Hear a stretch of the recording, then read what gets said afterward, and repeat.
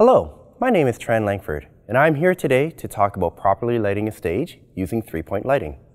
People often ask, what are the best fixtures to use for front, side, and rear lighting? Well, there are three main options to choose from. There are Lekos, Fresnels, and PARs. Let's talk and demonstrate the difference in a little more detail. Leko light, often referred to as a Leko, is a brand of ellipsoidal reflector spotlight, otherwise known as an ERS.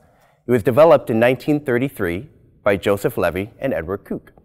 The inventors used the first two letters of their last name, L-E and K-O, to create the name Leko. This nickname has stuck with the lighting instrument and is used to this day as the name for any ERS fixture, much like the terms rollerblade and Kleenex are generally references for inline skating and tissue paper. So when getting back to the fixture, the Leko light, or Leko, is a focusable light with options of framing the light to the size and the shape needed for the application. The Leko can be focused internally by moving the barrel back and forth to create a very sharp, crisp edge or softer edge, depending on the desired effect. So here we have set up behind me a whole line of Lekos. And you'll notice that they are all on the same plane, but they do all have different barrel sizes in them. This is so that we can effectively demonstrate the differences between everything from a 10 degree up to a 50 degree barrel. When I'm referring to barrels, I'm referring to what I'm holding in my hand. As we talked about earlier, Lekos are controlled by changing the barrels, and those barrels will come in a variety of degree angles.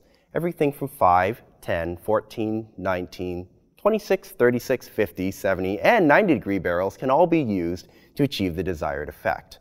Those barrels will usually be indicated by a number on the side of the lens, such as this one that I'm holding, which is a 36 degree barrel.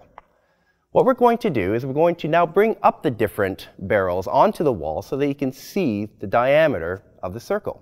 We're going to start with a 50 degree barrel. You can see that it's very, very wide. It comes out as, well, you guessed it, 50 degrees from the source of the light. We'll move down to now a 36 degree barrel, moving to a 26 degree barrel, then down to a 19, a 14 degree barrel, and a 10 degree barrel. So you can see from that demonstration, we have all these different fields of light that we can cover using a variety of different barrels, but you will also notice that the intensity of the light changes because we went from a 50 all the way down to a 10 degree barrel. Now that we've covered the different barrel and degree options you have available in the Leko, I want to talk about the internal operations of the Leko itself. You have two real main options. It's the barrel itself and then there's shutters on the Leko.